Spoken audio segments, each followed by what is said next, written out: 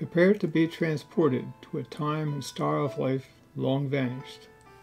Descend the graciously distinctive staircase from your luxurious room of this former manor house, reinvented as an upscale B&B in Bucks County, Pennsylvania. Enjoy your stay.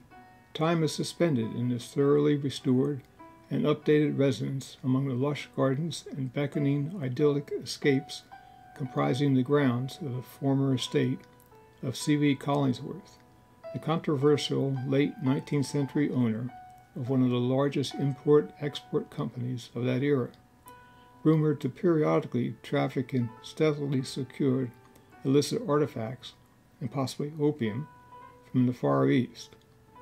His wife, Isadora Holborn, of the Philadelphia Main Line Holborns, occasionally prevailed upon him to part with some of the most precious pieces, gracing several of the many rooms of the manor's first floor.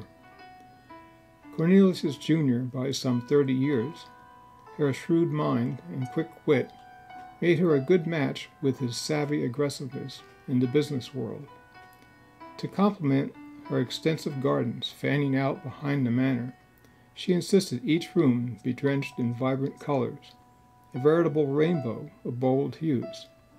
As you proceed down the stairs to the main floor, pass through the doorway to the left and step into a bath of sensual delight. Flowers, fresh cut, and a floral motif meet your every glance, enveloping you in a sumptuous suspension of time. Drifting lazily in a trance, pass through a portal of sunlight reflecting off the highly polished surfaces, a visual echo. Some respite is offered by the less saturated atmosphere of these adjacent rooms, preparing you for the transition to the timber beamed day porch. Cool and inviting, doors beckoning near and far, the floral seduction of the previous rooms dissipates as if emerging from a dream. Step through the door to the left and enter the veranda, a uniquely exotic environment of competing light and shadow, a temperate world, tempting you to explore. But it's time to visit yet another reality the couple's private quarters.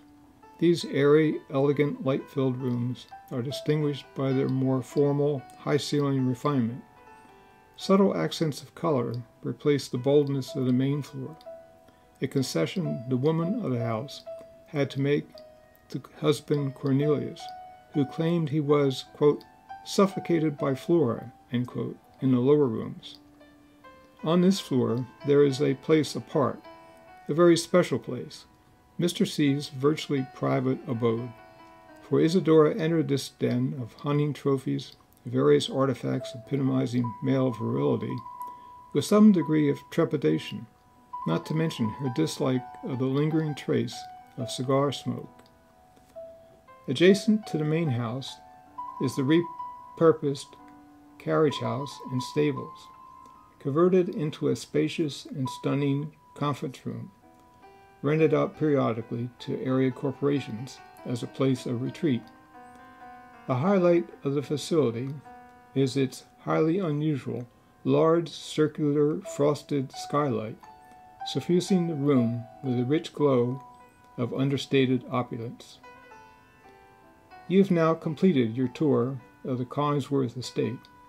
I do hope you've enjoyed this venture into another time, another life. P.S. Cornelius, although long under suspicion, never saw the inside of the county courthouse, other than to transact business of an unspecified nature.